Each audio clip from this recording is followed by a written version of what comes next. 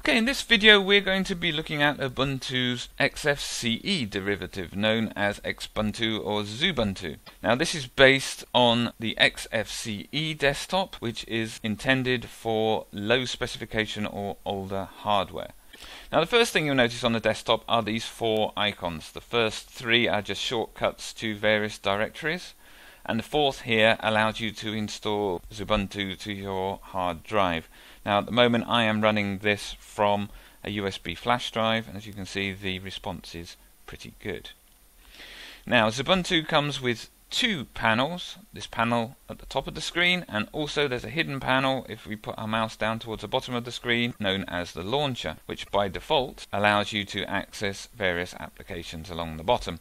So if we just hover our mouse over we've got a minimize button for minimizing any windows, we've got the shortcut to the browser, we have the email client, which is Thunderbird. We have a shortcut to the command line. We have a settings manager.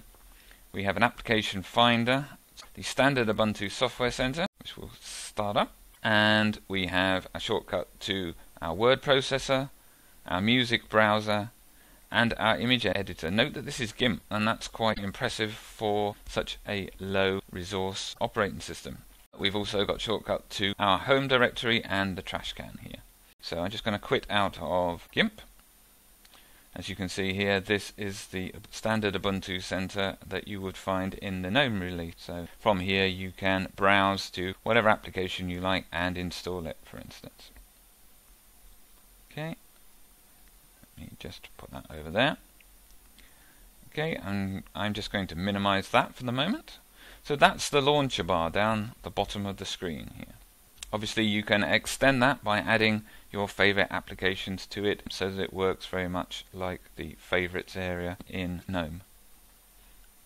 So let's go up and look at the top panel of the screen here. From left to right, this icon in the corner is the XFCE logo. It's actually supposed to be a little mouse, although you can't really tell at this magnification. So if I click on that, I get access to the main menu. So I've got a couple of shortcuts there and then off here we have all the main menu settings. So we've got some accessories, we've got some simple games, we've got our graphics programs, here we've got GIMP, um, we've got our internet applications such as Firefox, we've got Pidgin for chat and we've got Thunderbird for mail. Um, under multimedia we've got our music browser and um, we've got our CD burner. Under Office we've got our word processor and we've got our PDF viewer and our spreadsheet. Uh, also here the calendar. Uh, we've got some system functions down here and shortcut to our software center, help library, etc. and our log off menu. This middle part of the screen here is where our minimized icons go. So here's our software center that we used earlier and here's my terminal window that I'm running and record my desktop in. On the right hand side of the screen we have the system tray First thing we've got on here as I'm running on a laptop is our power menu. So if I just hover my mouse over that, it should tell me what my battery state is and if I right click here I have various power options that I can invoke. Next we have our communication menu. This is very similar to the same menu in Ubuntu GNOME. So here we can access our um, chat. We can set our chat status here or we can go into our email. Here we have our current system date and time and if we double click on this we get a calendar window which for Xubuntu is ORAGE.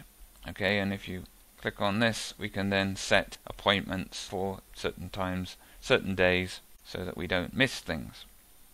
These next two icons are the workspace switches. So by default, here is our workspace 1, and if I click on this, here is my workspace 2. So you can see over here, I've got two windows in workspace 2 and one in workspace 1. Finally we have the logout menu here and I can lock my screen, suspend it, hibernate to disk, reboot the machine, shut down, log out, etc. Uh, if I right click the mouse over any area of the desktop I get this context menu so I can do things like open a folder, create a new folder uh, and change the desktop properties. So let's take a quick look at the file manager. So the default file manager in XFCE is Thunar. Obviously I can select any item by clicking on it.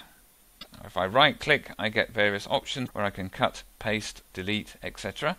For a directory, I can navigate down into it by double clicking on it, for instance. And if I have a certain file that's runnable, if I double click it, it will actually run it and display it. So here is a video I made earlier. If I want to create a shortcut on the screen, I can drag any file onto the screen and drop it. Obviously, if I right click that icon, I can then do things like to cut, paste it, delete it, rename it, etc. And that's the XFCE desktop in Xubuntu. Thanks for watching.